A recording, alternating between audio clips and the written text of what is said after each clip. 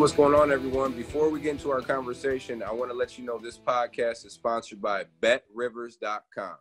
BetRivers.com, the best place for all your sports gambling needs. Also, don't forget to subscribe to the podcast. You can also watch all of these episodes on the Field of 68 YouTube channel. Now, let's get into our conversation. Hey, what's going on, everyone? This is Eric Devendorf, your host of the Scorer's Table podcast. And today we have on another great guest. But before I introduce this guest, I just want to say this guy was one of the hardest workers. And, and I knew it right away um, when he stepped foot on campus. I remember him coming to work out with me. Uh, it was just 100% through the whole workout. Uh, and he earned everything, um, you know, where he's at right now. He earned it. Uh, one of the hardest workers that I've seen and one of the greatest shooters to, to come through Cuse. Um, so I really appreciate you coming on, Cole. Uh, Cole Swider. Thank you, man. Yeah, man. Thanks for having me. I just, like I said, man, or like we all know, I mean, the Cuse family is so strong. Uh, I wouldn't miss an opportunity to come out, come on, and uh, help your podcast. Hope you come on my podcast. I just started a podcast, the Cole Swider Show, and uh, we get a little, we get a little joint episode. No, absolutely. I've, I've been checking it out, man. I know you and Patty uh, have been hitting the podcast pretty hard. So, yeah, bro, you already know. Whenever you want me on, I'm there. Oh yeah. I appreciate it. So first off, man, let's uh just talk about uh your injury a little bit. I know you're uh you had a little stress fracture in your foot. Just kind of talk about how that's coming along and um you know the timetable for that. Yeah, man. So uh the injury was actually funny. So I actually had no pain going into it. So uh, going into the preseason for the NBA, they have, obviously have you do your preseason physicals. So for uh, they had me do an MRI at the beginning of the preseason, um, and and basically they do the knees and, and feet because those are the two most dangerous areas for basketball players. So my uh, my trainer calls me. He's like, "Hey Cole, like, how's your foot? How's your right foot feeling?" I'm like, "Fine." You know what I mean? He's like, well, you have a stress reaction in your right navicular bone, which is the bone that connects your foot and ankle together. So I was like, all right. So I went back to the CAT scan. Uh, CAT scan came back fine. So they made me sit out a week, and then I, I played in training camp with uh, the stress reaction. Actually, they let me play because I didn't have any pain. Uh, they wanted to see if it was just like just like a one-off. They added some new treatments and stuff like that throughout my regiment. Um, so played in training camp with it, but they're like, they they reevaluated me after a month. It came back a lot worse than it did the first time. Still had no pain. So basically, they put me in a boot for two weeks. Uh, two weeks uh, out of the boot, but, but, couldn't do any jumping, moving, just lifting. Um, and then the past two weeks, I've been getting on the court, getting getting better and better. So it's been about six weeks since I've been out. So uh, should have about two weeks left. I'm um, scheduled to scheduled to play right now for December 14th. So um, t- two weeks left, but I'm I'm biting at the bit, man. You know you know how we get. We we're, uh, it, it's tough for me to sit down and, and, and not work out two three times a day and, and, and have have that normal routine and schedule. So um, it's definitely it's definitely been weird, but just just anxious and, and ready to get back out there. Absolutely. So I'm gonna bring it back real quick, bro. Um, I, I kind of want you to talk about uh, you know, you growing up and, and, really how you got interested in basketball and who was really the one who kind of pushed the game on you uh, and, and, started you to get involved with it? Yeah, so both my parents played Division One. My dad played at Fordham University. My mom played at University of New Hampshire. My dad's six eight. My mom's six three.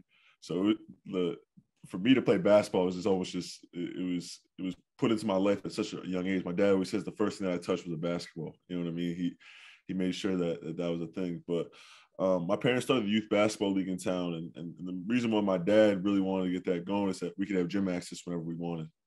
Uh, we could go to the gym, we could shoot, we could. I'd be in the gym all day scoring games. I'd, I'd be helping out the refs, giving them water, like anything I could do. And I just fell in love with the game from from such a young age. And um, I just remember I was I was that kid who, who would cry after a loss. I was that kid who would um, be upset at my teammates if they missed the pass just because I was so competitive and wanted to win. Um, and and yeah, man. So just from a really young age, I, I, just really fell in love with the game. I remember when I was like eight or nine years old, I started crying after my after my basketball season was over. So um, my dad let me play AAU when I was like nine or ten years old, uh, just because just he saw like how like how sad I was after basketball season. So I mean, it was from a young age, and I've just loved the grind and process ever since it's kind of crazy because it's kind of similar to to how I was growing up. You know, at a young age, I, I, really was able to find out that you know, I love to play basketball. And, and you know, for a lot of kids growing up, you know, they play multiple sports and and they don't really know, you know, what sport they want to do until later, you know, in, in middle school or, or in high school. I guess what age for you um, did you really know like, all right, this is this is what I want to do. I want to become a really good basketball player um, and I want to make it my career. Probably that day when I started crying after my basketball season, I knew I loved it. Um, when when I when I thought it was realistic for it to be my career, I think that's like a, like a lot longer down the line. But when, when, when I loved it, when I knew I wanted to play in the NBA, it was when I was eight, nine years old. Like I, my dream was always to make it to the NBA. My dream was always to play at a big time college university, like a Syracuse or obviously I played at Villanova as well. Like that was always my goal. That was always my dream. And me and my dad kind of shared that because my dad actually, um, he stopped playing after his freshman year of college. Uh, like and after that like I, I think that he kind of had like this this sense of like all right like I I couldn't make it to the level that I wanted to so like me um, he, he doesn't live his dream through me but it definitely helps like it's definitely an amazing feeling for him just to kind of see how, how I've yeah, grown. no doubt yeah absolutely no doubt bro talk, talk about um your recruitment process because you were you were highly recruited um you went to a, a great high school um, and, and a lot of those guys uh, from your high school, we had who came from there. I think Demetrius Nichols. Um, yep. So we you know you got that you got that Syracuse pipeline already, um, but you went to Villanova first. So so just talk about your recruitment in high school uh, when it really started to heat heat up, and you know kind of what that process was like for you. Yeah, man. I, I got my first offer when I was a first uh, when I was a freshman in high school from Boston College, and uh, after that, it just slowly started growing. Um, I think I really started getting big time offers was, was my uh, my junior fall. I started getting some high major offers. My sophomore summer, I actually came up to Syracuse for an elite camp. I tell this story to, to Red and GMAC all the time. I hate when I bring it up, but I remember coming up for elite camp, Syracuse, obviously the Syracuse pipeline with, with St. Andrews and Mike Carter Williams, Demetrius Nichols, two guys from Syracuse make the NBA. Um, so I'm really excited. Um, I go there and I, and I, kill it. I kill it, man. I, I thought I was one of the best players there. Um, and and at the time Hop was taking over for Coach Boeheim. So Coach Boeheim was just there, just just meeting people, but he wasn't out there looking because Coach Coach Hop was going to take over as a head coach. So after the camp, like me and G GMAC are talking, G GMAC's like, hold on, hold on, I'm gonna get Hop for you.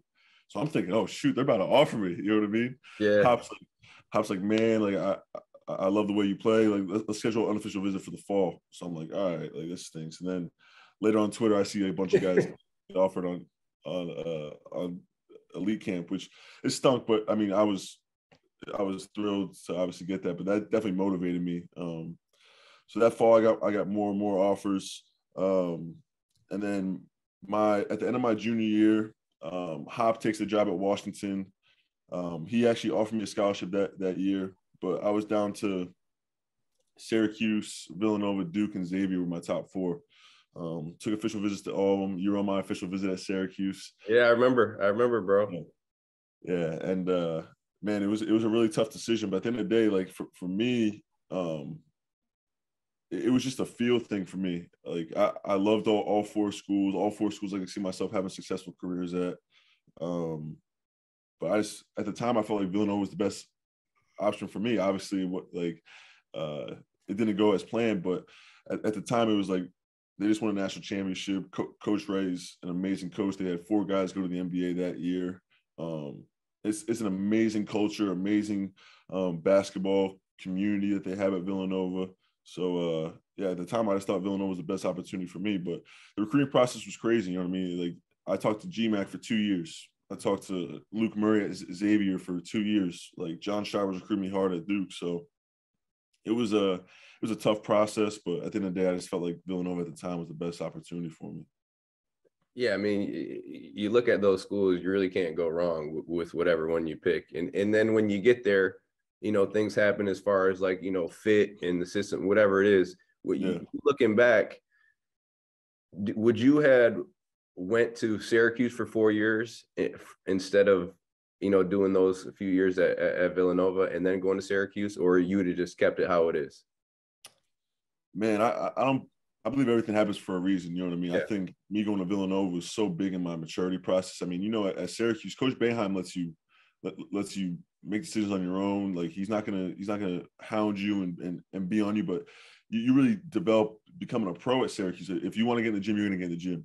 Yeah, you, you're gonna hit up all these people. Cabillas is gonna be at, at your disposal, but at Villanova, it's like a military mindset. Like in the summer, it's 6 a.m. lift, uh, 7:30 shooting, 8:30 class, then 8:30 to like in the summer the class is long, so 8:30 to like 11:30 class, and 12 o'clock practice, 12 12 to 2 o'clock practice, and then you have study hall after that.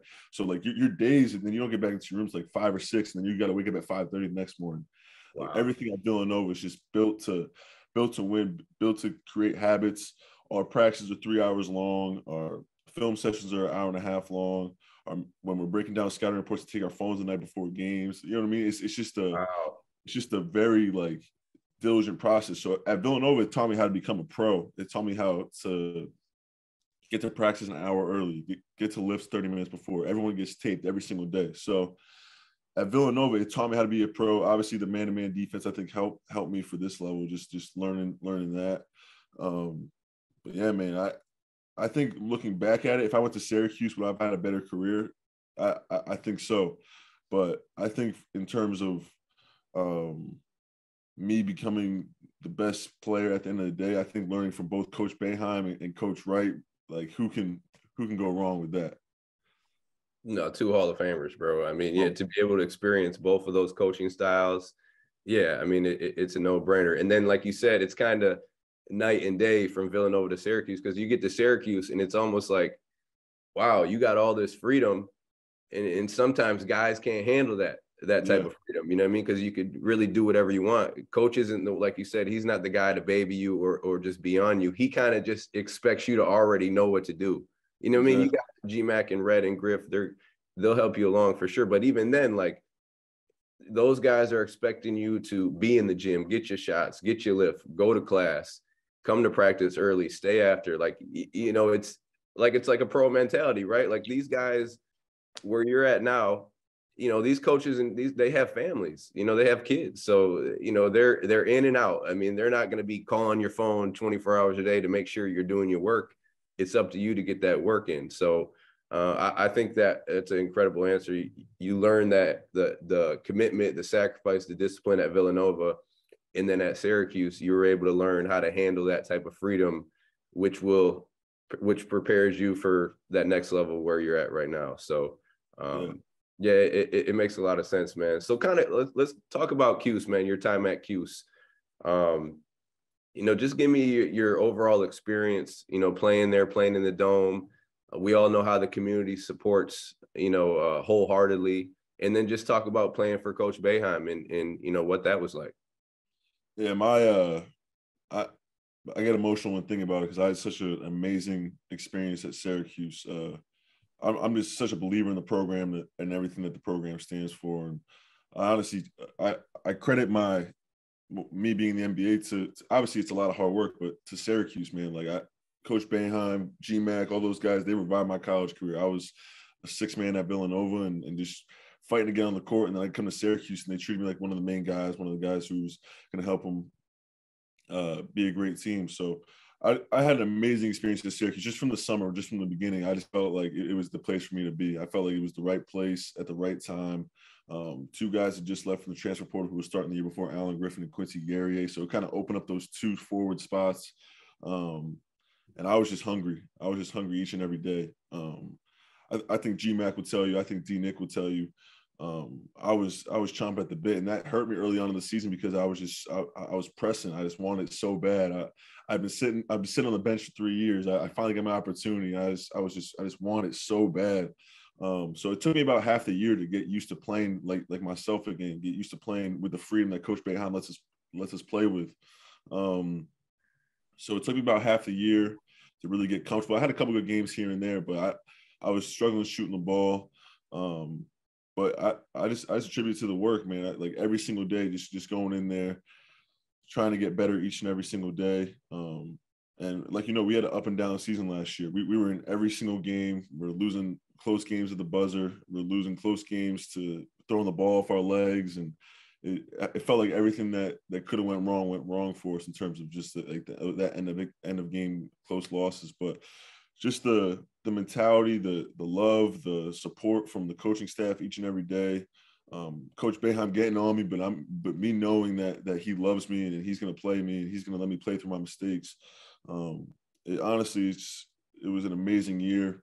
Um, it, it's so tough because me and you as competitors, we don't like to say it's amazing year after after a 16 and 17 season, but um, I think a lot of those guys would tell you that we were so close, close knit throughout the year. Um, that we're gonna have those relationships for the rest, for the rest of our lives, and uh, I, I think just overall it, it, was it was an amazing experience for me to kind of get back on my two feet in terms of basketball. Uh, I remember after the season, um, I really wanted to come back. I mean, I, I told Coach Boeheim, um, I, co- I told Coach Boeheim, I was like, hey, if you want me back, I, will I'll come back. Like I, I, I love, I love you guys. I have a loyalty to you guys. You guys brought my career back, and you probably would have, would have, would have would have went back for a fifth year too if Coach Boeheim was like, Devo, I need you, man. I need you. Oh man, that's a, that's the whole another story. I, sh- yeah, yeah, absolutely, bro. Yeah. um, so I just felt that love and that loyalty towards Coach Boeheim, but Coach Boeheim was like, "No, Cole, like you said 36 at Carolina, like it, it's your time to go. It's your time to go." And I was like, I, I, at first I was like, "But you don't want me back?" Like, but he's he wasn't thinking about himself at, at the time. You know what I mean? He was thinking about what's best for you, what's best for Buddy, what's what's best for um, you in your future. So I just have so much love and respect for him, and it kind of just like it kind of just puts my whole entire year together of like I went throughout the year, and, and the the best thing for the program might be for me to come back. The best thing for me was was for me to go and, and be able to have this opportunity, and then now I'm on the Lakers. So I just have so much love and respect for the program. Um, I'm, it was a it was a year that changed my life, and uh, I'm just so thankful and blessed, and that's why I, I just have so much love for the for the program. Absolutely. I, I want to kind of uh, go back to what you said about, you know, you had those early season struggles shooting, and, and we all know, like you said, Carolina, how you went off for 36. You, you're one of the best shooters in the country. Uh, you know, regardless of position, you know, obviously being six eight, six nine, it helps you, right, to be able to shoot the ball like that. But what was your mentality like, bro? Because you know we all know Coach Boeheim doesn't hold back. Like he's gonna he's gonna say what he's feeling, and he's not really thinking about how you're feeling at that moment. Yeah. Uh, some some guys crumble under that. Some guys take it as motivation um, to go out there and, and kind of prove a point and and uh, you know get better with their play. So what was your mentality? You know when you're having those early season struggles, coaches on you. You know what did you really have to do to keep yourself locked in? Yeah, so I remember, I think it was after the VCU game. I went like two for 14, 0 for 7 from three. Uh, had a really tough game. Um, Coach Boeheim was getting on me after the game. Like, Buddy, I think Buddy had 20 points. Joe played, like, Joe was, he had a little point guard in, like, on him the whole entire time. Um, and I felt like, and that's like, not no no one player loses a game, but in that in that time, I felt like I kind of lost the game. After the game, he's getting on me. Um, and then I walk in the film later, and uh, Coach Boeheim goes, "You know, you know, like you're still gonna play the whole game, right, son? Like, like I'm, I'm, I'm not taking you out." Um, so like from that moment on, I knew every single time he got on me that like it was it was just to motivate me in the moment, and I, I feel like me, you, Demetrius, G Mac, like, like we're all wired a little a little crazy. So like like in, in terms of sessional work, so it's like every single time Coach would go at me after, I'll, I'll, look at him like, I got you. Like, like, and then he respects that his players yeah. too. I, I, would just, I would be so pissed at him sometimes. I remember there was a game where he was getting on me. He was like, come on, son. It was actually the last game of the year, like the Duke game where uh, he's like, you're the number one option now. Buddy's out. You're the number one option. You're just gonna let your team down like this? Like he's just like looking at me, just just yelling at me. And, and I'm like, and I just and I just like give him this like this angry growl. He's like, all right, you know what I mean? Like when when you when he respects you to a certain point that he knows that you're going to give it all you got, you're going to lay it all on the line for for Syracuse and the program and, and the, and, the, players that came before him. Like then then then he's good. He's good. He's going to let you go out there and play. So I learned that after that moment against VCU. So my mindset after that was just it's it, they're gonna fall. I'm one of the best shooters in the country. Like I'm, I, it's gonna fall. I think a big moment for me was me and Demetrius really set it as, as a shooter, if you have a routine that you go to every single day, it creates consistency, right? So me and Demetrius, after like the first like 10 games, 11 games, we created a routine that we did every single day before practice, before games. And I feel like that kind of like helped me each and every day just kind of get a consistent routine. The shots started falling after that. Like the, the work will never fail, man. It, it, it might not come at, at your timing, um, but it's gonna pay, pay off. If that's tomorrow, if that's 10 games down the line, or if that's two years down the line, like the work will always show. So um yeah, man, that, my, my my mentality is like as a shooter, you have to be strong. Like you have to have a strong mental. You're gonna go 0 for six some games, but you're gonna go six for eight the next game. So it, it's all part of it, man.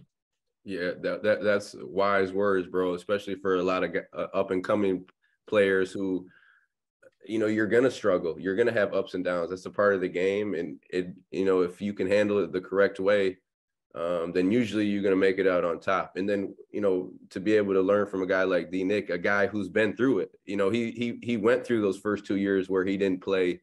And then, you know, I remember when I came in, you know, his junior and senior year, you know, that's when he, you know, now he's all Big East because he stuck to the, you know, the hard work. You know, he, he, he didn't give in to when Coach Boeheim was getting on him. He, he took it as motivation, you know, like you were talking about. Um, so he's, you know, to be able to lock in with him, he's one of the best guys to be able to learn from. So that's uh, wise words, bro, for sure. So, I, bro, I want to I want to kind of um, now get into uh, getting picked up by LA. You know, you you leave Cuse, uh, you, you go to um, Vegas for summer league, uh, and and bro, you talk about shooting the shit out of the ball. You shooting the shit out of the ball. Like you you really, you know, people knew you could shoot it, but you really opened up some eyes because how you played in Vegas outside on the perimeter, being at your size, being able to do one, two dribbles, and and you know more than anybody now in the league. That's all it is. It's nothing crazy. If you can get to your spot, pull up, you know, being at, at your height, making shots, you're gonna give yourself a chance. So so talk about you know your mindset going into Vegas, knowing that hey, I, am one of the best shooters, and and I want to show these guys that I could play and, and shoot the ball on this level.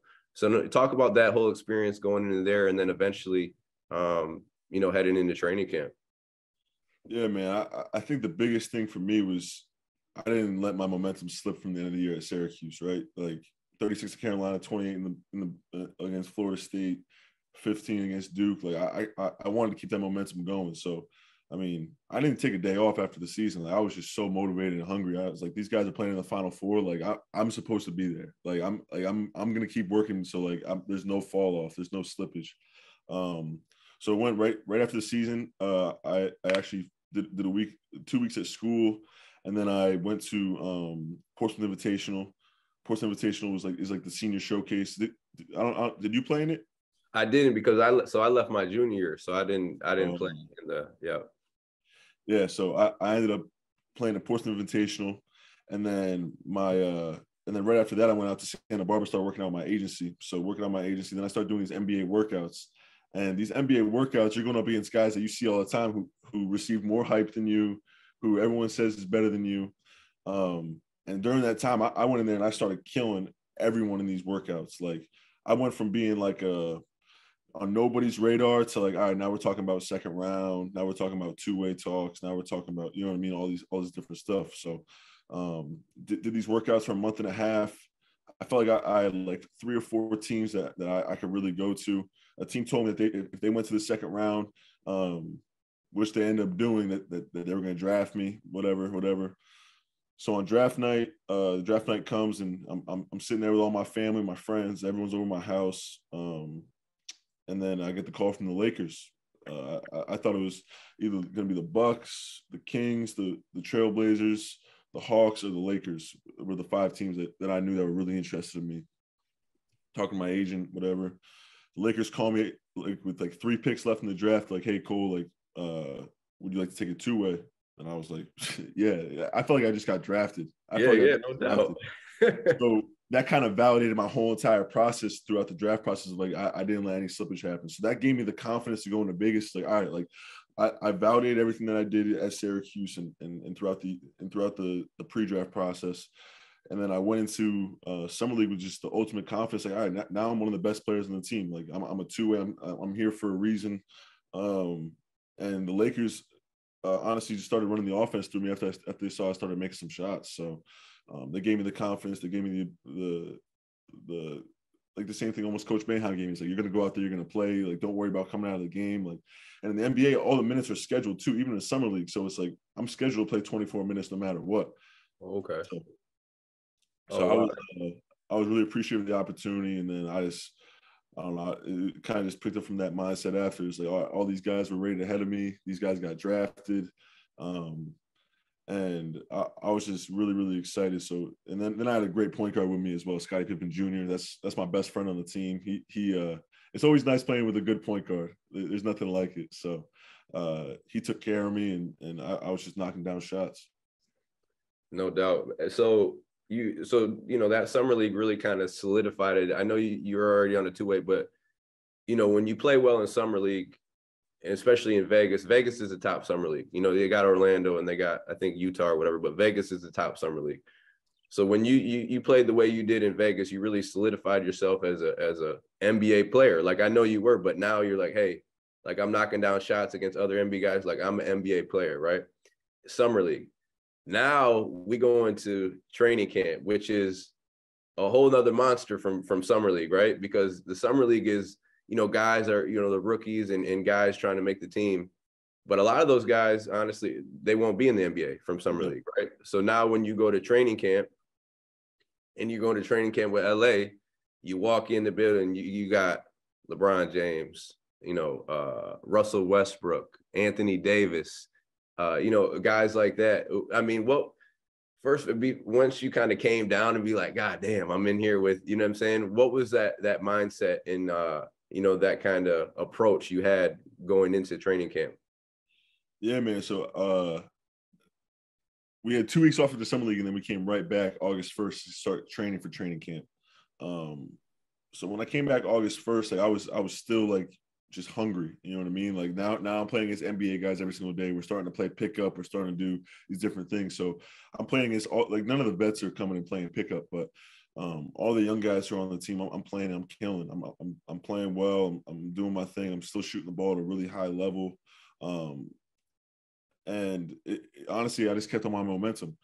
Um, so then, as as the months start keeps keeps going on and on, more more guys come in, more guys come in and then training training camp happens, uh, and LeBron was there pretty much the whole entire month of August, and it's it's it's a, it was just amazing just to be around him, his presence, and, and just see like his work. Like every single morning, he got to the gym at at, at 6.30, 6.45, he's in the weight room stretching. Seven o'clock, he's on the court. Seven o'clock to 7.50, he's he's working out, and then he'll do his lift. He'll get a massage, he'll, a cold tub uh, if he needs something else, he'll get something else, and then, then he'll leave. And then he'll probably do like, I mean, you saw how many commercials he's in. Like, it's, it's it's unbelievable. Like his schedule's so packed, and just to see like that professionalism was like every single day I'm getting there at six thirty, no matter what. Like, and he lives like forty minutes away from the facility too. So like, he's he's on a such a strict schedule. Um, seeing AD in the summer, like just just connecting with those guys, bonding with those guys. Um, they've been great. And then Russ, Russ is the it was funny. The first time I met Russ, I walked in the practice facility at like five o'clock. I was coming to get some extra shots up, and Russ was in there. He just got done with his lift, and uh, he was like, "I saw Coach Boeheim at summer league. He he told me to take care of you, so I'm gonna take care of you, man." Like, and and that was just like one of those things where just like the Syracuse connection, like Coach Boeheim, the Hall of Famer, having respect of, of Russ. So so every now like now every single time I, every single time I see Russ, he, he's like, "What's up, shooter?" You know what I mean? He's taking care of me. He's showing me the ways. Any questions I got, just get like you know what I mean. Just just throw them out there. So, um, yeah, I mean training training camp's a whole different beast, man. You start playing preseason games, and being a rookie two way, you kind of get in in that fourth quarter. So you got to be able to prepare yourself those first three quarters, or the that first half, for for being a for for preparing your legs, preparing your mental. It's like, all right, like as a shooter, like I'm not I'm not gonna play in the first half, but I got to make sure I'm mentally ready to go. So when I get in the game, I I, I have the opportunity to to to come back the next game and, and still bring that same effort and attitude. So um, it was definitely different. It was definitely a different type of mental strength you had to had had in those moments. But you know, training camp was great. Um, really show me what a lot of these guys do to prepare. So, and that, that's what I'm all about is preparation and, and seeing LeBron and AD and Russ prepare is. I don't think there's better people to learn from. So I, I would I guess I would take that is that the one biggest thing that you you took from those guys is is their preparation and how they really you know pre- prepare themselves for the season. Yeah, I, I, would say that, and then obviously just the basketball IQ of, LeBron. I I just it, it's it's amazing each and every day just just hearing those guys go back and forth on different ball screen coverages, d- different ways to d- defend, different actions, and all these different things. The personnel they know every single weakness and strength of every single player in the NBA. He could be the 14th guy, or he could be the best player. Or he, it could be Paul George, or it could be freaking Buddy Boeheim. You know what I mean? Like they, they know every single strength and weaknesses of every single player. It, it's unbelievable. So just that basketball IQ, just being prepared every single game and knowing like that's why LeBron plays till he's 38. You know what I mean? Like he's playing at a high level at this because obviously he takes care of his body, does at a high level, but he knows how to manipulate the game within the game. And you being a basketball trainer, you know that more than anyone. It's like how do you manipulate the game within the game and seeing certain certain things, certain tendencies of guys, knowing that this guy doesn't shoot well from the left corner, so I can help him a little bit more. So it's it's just like it's just unbelievable just to learn from those guys. And I, have just been a sponge. I've just been trying to take take as much as I can because for me, I'm not the most athletic guy. I, I got blessed with being six nine, but for me to stay in the league, it's going to be that mental. It's going to be that mental stuff. You know what I mean? Shooting the basketball at a high level, playing a role, and then, and then mentally on defense, just knowing everything. So it's just been amazing to learn from those guys.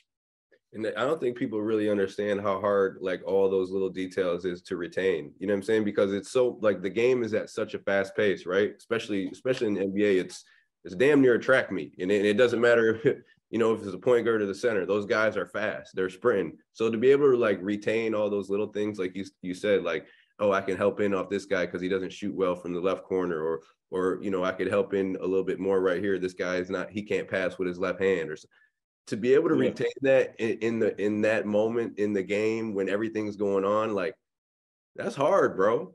That, that that's hard to do. Like I don't think people were. And then you you talked about because now like you you're in a role. Like you're you're you're you got to come in and produce right away like for real. Like and and then even like when you haven't played the whole game you might get in for that 5 to 7 minutes and for that 5 to 7 minutes they're expecting you to to produce and make shots regardless of you know if you haven't played the whole game. It could be the fourth quarter you know we got 5 minutes left you got to come in and, and hit shot.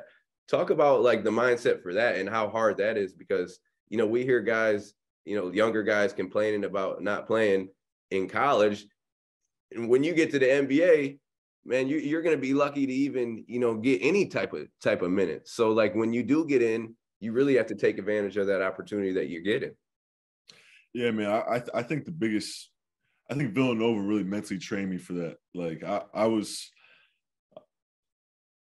it, it was tough because at the time, like you don't you don't ever want to be the sixth man. You don't ever want to be the guy who who's kind of looked to next. But it, it, prepared me so much mentally that I've been through so much in college mentally about obviously the preparation, the the scouting report. So you got to know everything about every single player. So that that was instilled in me. Um, but also I knew at Villanova if I made a mistake on the defensive end, I'm coming out of the game. So I had to be I had to be on the whole entire time. Whereas Syracuse, I mean, Coach Boeheim was going to let me play 35 minutes good, good, bad, or ugly. So yeah. um, it was one of those things where I, I, was mentally trained at Villanova to know that it's like I'm on a short leash. But at the same time, it was how do you know that but play with the confidence I did at Syracuse? So you have to find that that mesh and balance of of trusting your work, trusting the process, doing all the things that you need to do to to know in the moment that whatever happens happens. Like it, it's it's it's already destined before we're, we're, meant to be there. Like before we're there, like everything that's happened is, is meant to happen before. So I just think going in, in those moments, like I, I, put in all the work, I put in all the time, I've, I've, I've, done the things I need to do. I'm, I'm, I'm in depth with the scouting report. I've watched film on this team. Um, so let's, let's, let's go and play and see what happens, man. Yeah. Like, I, I just, I, I get so excited with competing. Like I, I, I love it. It fuels me. It, it's going to, no matter what happens, I'm, I'm still gonna be back in the gym the next day. Like LeBron talks about all the time. He's like, it's, it's an 82 game season. In college, like if we if we lose a game, our heads are down. We're, like we're, we're we're upset. Like in the NBA, you don't have time to be upset. You're right. You have to go back, watch film, prepare, get your shots up, do your treatment, get a massage, and then you have a game the next day. I remember we played against Sacramento Kings in my first preseason game. I had a pretty good game. Um, I think I had like 10 points or something like that. I played like 15 minutes, but had 10 points. Um, shot the ball well. After the game, everyone in the locker room was just like, sit, and we end up losing by like 20 or something like that. We get blown out in the second half. So I, am in that college mindset of like, damn, man, like, like freaking lost. Like, like the coaches aren't gonna like play me after. All the coaches are coming up to me after. Great game, Cole. Great game. Wait, wait, wait, to, way to step up. Way to, way to do your thing. And I'm like, like I'm, I'm used to like after a loss, like, it being the end of the world. Like these guys are thinking for 82 games. Like they don't like that. That one immediate result isn't gonna be like great NBA teams lose 30 games in a season. Like, and and me, me, me and you like I, I barely lost 30 games in my college career. So yeah. it, so it's just a different mindset, it's a different mentality. It's like you have to get over things quick, and that's what makes the great players great. Like LeBron's not stressing over a loss in October. You know what I mean? Like he it's just a process for him. It's, it's how much better can his team get throughout the season. So I I know it was a long form answer, but I, I just think just just the preparation. At the end of the day, it's all about preparation and preparing your mind I mean, we, we have talked about it before when I worked out with you. Uh, like we talked about meditation, we talked about preparing the mind, doing all these things to to. I think the, the mind is is everything, and yeah, when you're preparing the mind and you're not a, you're not afraid of failure, you're, you're going to be in a good spot no matter what. Yeah, hundred percent, bro. It, it's it's like you putting faith and belief in, in like what you're talking about, your hard work, your your preparation, and you don't know what's going to happen, right? But you know that if you continue to you know believe in yourself believe in your work believe in your preparation it usually works out. You know it's going to be bumps in the road all that's just how it goes. And then you know we adjust as that happens. But no i think that that was that was a perfect answer bro. So besides you know obviously lebron ad you know russ though you see those guys every day. And i'm sure you've you've had a lot of wow moments. Like like i can't believe this. But other than those guys, what NBA player has really kind of left you with your jaw dropping like oh man like this is this is unbelievable like whether it be athleticism skill wise you know it, it could be whatever? Yeah man I, dame lillard number one like we, we played him and we, we were i think we were up like 10 with like a minute and 45 left and he just took over the game like he was like the, ball, the ball's in my hands. Like it, you couldn't do anything to stop him. It was it was unreal. And that's one of the things in the NBA is like sometimes you play really good defense, but the players are so good they're gonna make the shot. Yeah. And and that's what I've noticed more than anything. It's like, I mean, me, me and you, like guys can play great defense on us, but we can we're still gonna make the shot. Like it's it's it's one of those things where it's like like you're playing against really good players every single day. So sometimes you can't get mad if a guy makes a shot. Obviously, if you let someone blow by you, if, if you're not if you're not disciplined, if you're fouling guys, that's different. But if you're making guys take tough shots, um, then then then that's what that's what you need to do. Yeah, uh, I would say Devin Booker is another guy who, who who's just unbelievable. And then then there's the obvious guy, Steph Curry. Like Steph Curry is just unbelievable. We played against him the first night. He didn't even have a great game, but just his movement on the court. Like I, I watch all that stuff in terms of just like the, the freedom of movement on the court. Like he's he's throwing the ball, running the other side of the court, throwing the ball back, dribbling three times, throwing it back, coming up for another handoff, like get, getting a shot off like cash. Like it's yeah. just that that's just so that's a that's great for me. It, it was that was amazing for me to see. So I mean, those three guys, but I mean, every single team you, you play against is there's there's a six man who, who who have 30 points. You know what I mean? And you're like, all right, this guy could start on any other team, but he's gonna just come in here. And so uh I mean, NBA is a great league, man. There's a lot of talent. a lot, a lot of talent. But those three guys that you named, obviously, you know, three of the top guys in the league. But like they're not guys where their athleticism like jumps off the chart at you. Like oh. those three guys you named, like their skill is unbelievable. Like the footwork, like you talked about, like Steph Curry running off screens, the condition that you have to be in. Like if you want to be good, like in NBA at that size, like your skill level, your condition has to be on a whole nother level because you know, you guys, you got 6'10, 6'9 guys who are jumping out of the gym. They already got a, I guess, a head up on people because they that they of those God given abilities. But these guys, like, I remember Steph, like Steph came out with me. Steph's littler than me. Yeah. You know what I mean? So that's what makes it so amazing when you watch what they're doing. And and it and it goes back to like you said, the preparation, the hard work, the beliefs in themselves. Like they're doing it times 20. Like these, like these kids, these younger kids, and, and we'll kind of I'll ask you a question um later about that. But these younger kids, they don't really get it and really understand like the the hard work you have to put in. And even then, like I tell them all the time, even then, bro, it might not happen. No. You know what I'm saying? You, you have to have that in your mind. So like that's something you're dealing with all the time. Hey, I could work out twice a day for this for this long amount of time and it still might not happen. You you have to have that you know that faith and belief in yourself that hey, I'm going to I'm going to do it anyway. You know what I mean?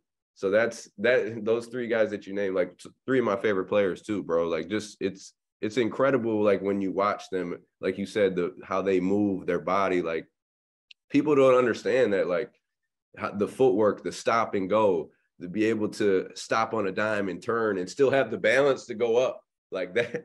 You know, that stuff is not looked at, and people don't understand how hard you know that is to be able to have those things. So, yeah, I mean, it's just amazing to be able to get kind of a, a front front and center and see those guys, and and then that, like you said, that helps you with with your game. You you add, you know, that's what great players do. They add from the the, the players that they see and you know, take what they think they can implement into their game. So, uh, yeah, uh, unbelievable, bro. So, bro, I want to get uh talk about Coach Ham real quick, and it's funny because Coach Ham is from Michigan. Michigan guy, yep. Grew up in Saginaw, Michigan. I grew up in Bay City, Michigan, which is like five minutes. Okay. I, you know, I knew D Ham growing up because I used to go watch him play. My dad used to go take me and watch him play, and he, you know, growing up, he was breaking backboards, doing all that.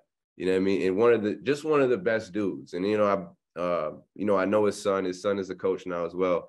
But just talk about playing for for Coach Ham. I know he's the players' coach. You know, he's been in the league. He's he's experienced you know everything that uh, you know you guys are experiencing now. Having won a championship, um, you know, j- just as a player, just talk about him and and his coaching style and um, what he really brings to the table as a coach. Yeah, he's been unbelievable towards me, man. I mean, he he loves running plays for shooters, which which makes which makes the marriage great. So, uh, I I think just from the from the first night that that he called me on draft night too, he he wanted to make sure that he that he uh, I heard his voice that that he was being presented, and, and I'm a two way. I'm a rookie. You know what I mean? Like he didn't have he didn't have to do that, but he's brought me out to lunch. He, he's made sure that that our relationship is, is solid through this whole entire process. So he, he's he's been an amazing person for me for my rookie year. Just having that that opportunity to just to learn from him. Uh, be like he's in the gym every single day in August with us. Like a lot of head coaches are, are probably having vacation because they're having an 82 game season. So. Um, he, he's been an amazing, amazing person in my life, just in terms of just giving me confidence, making sure that that that he knows that I'm, I'm there, uh, he's there for me. Um, and then I, I, think he's just grown as a coach. I mean, he's he's learned from these guys as well. Like I, th- I think sometimes like our ego is such a such a powerful thing, right? Like he has yeah. no ego when it comes. He's just trying to win, and and and that's and that's what I, have just gotten from him. Just just doing whatever it takes. Like he's been in that situation. He's and he was an undrafted guy just like me.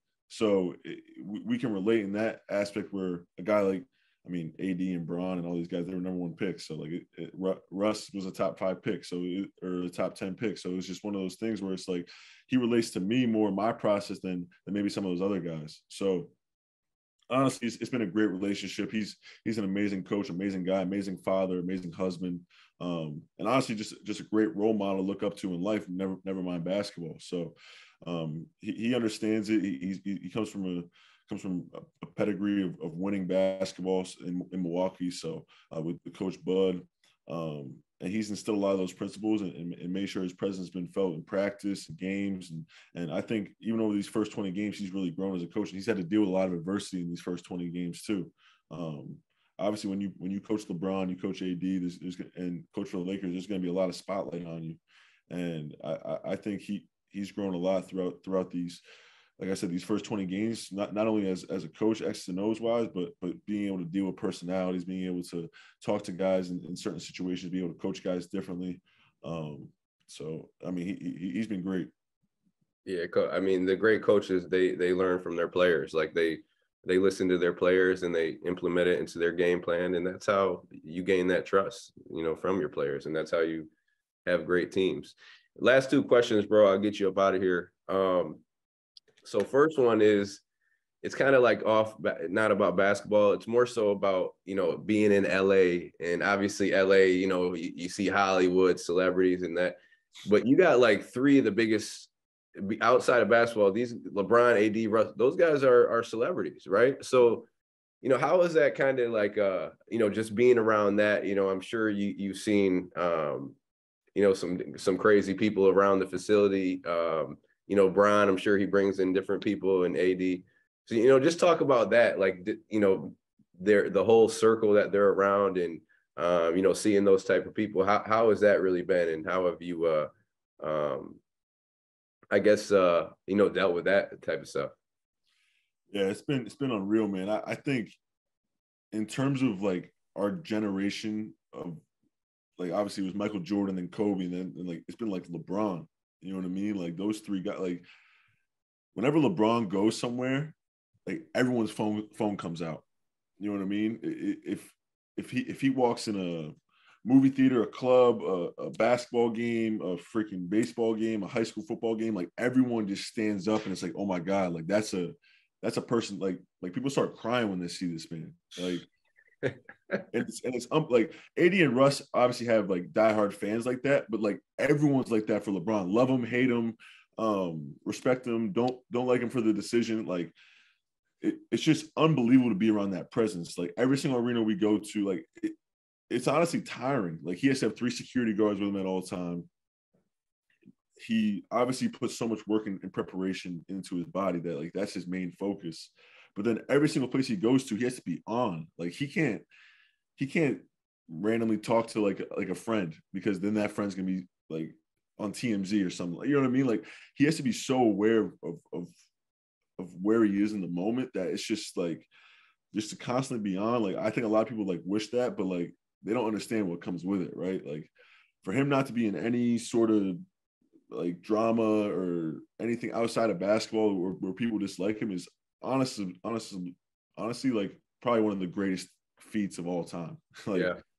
So I think just just being around LeBron, I've just really noticed, or I've just really like came to appreciate like me being able to go to a, a, a, grocery store and not have people with their phones out, you know what I mean? Or or being able to walk around LA. Um, like so I I mean LeBron is he's a different level of superstar and and, and stardom. Like he's not just a basketball player, he's like a generational icon. Like yeah. when, when we go back, we're gonna be talking about LeBron and AD and Russ. Like they have a they have a, a couple security guards with them because obviously like they, they have crazy fans too. But it's just crazy. Like like LeBron is everyone comes out to see him. You know what I mean? Like it's we, we could be playing in Detroit, it would be sold out. We could play we, we could be playing in Orlando, it's gonna be sold out just because LeBron's there. So I would just say being around LeBron is just it, it almost doesn't feel real at times because like this guy I idolized growing up. You know what yeah. I mean?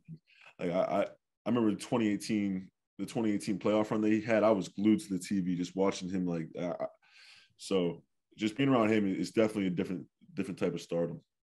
Yeah, it'd be hard to live your life like that. Like you said, it, it's the it's so impressive that you know all, over all these years he's he's never had a you know got in trouble or like a you know a scandal or something. It's always seems like something's going on. So for him to be able to you know live his life like that with all that attention on him.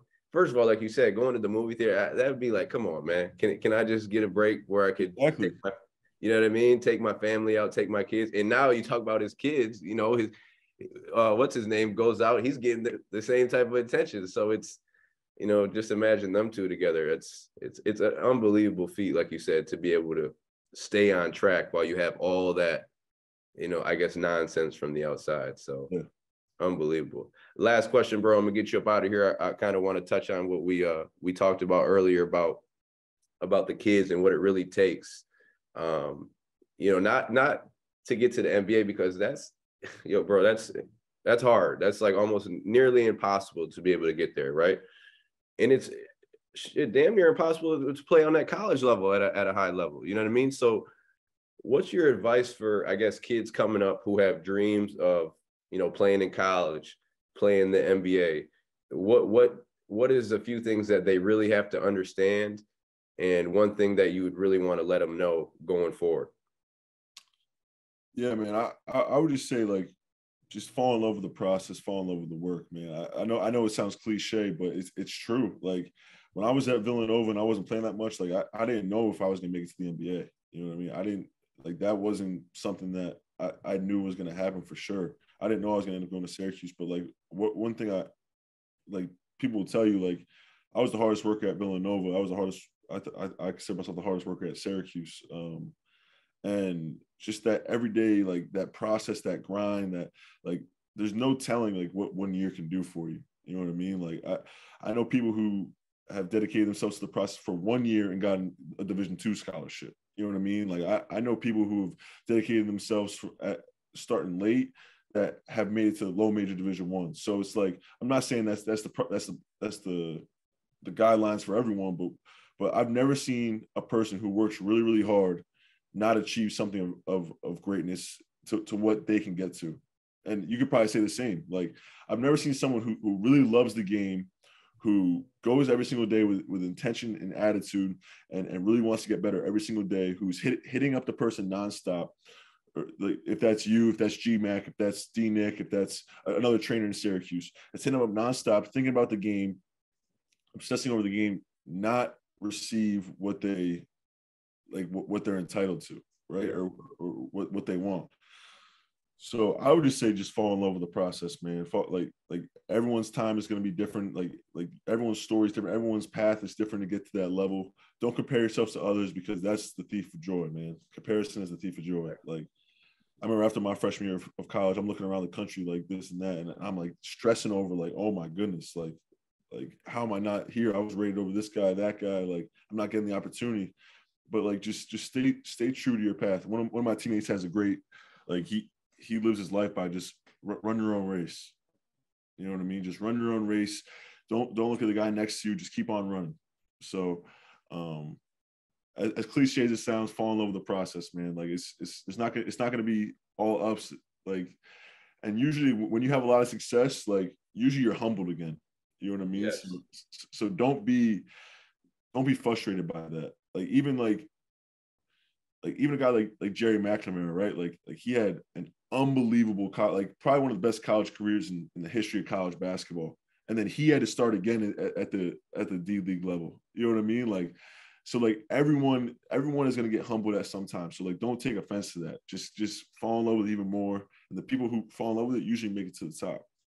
Yeah, great, great advice. You you have to love what you do. And, and I like what you said um, the word intention comes to mind. You, you have to be have intention with what you want to do, and then take those steps to get towards that goal, and give yourself a chance. Like we said early on, it, it might not happen, but you know when you have intent and you work towards the you know put those steps in front and work towards what you want to get to, usually good things happen along the way. Even if you don't get there, you meet great people along the way.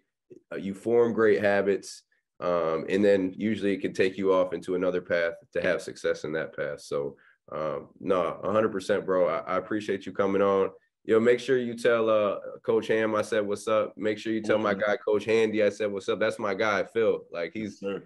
he's good people, man. So uh, keep doing your thing, Cole. I appreciate you hopping on. Um, get healthy. I know you, like you said, you chomping at the bit, waiting to get back out there on the floor and play um, and, and, just keep doing keep doing your thing, keep getting better, bro. You know I'm cheering for you, I'm rooting for you, and um, hopefully we can have you come back on later on and, and we'll chop it up again, man. I appreciate you, bro.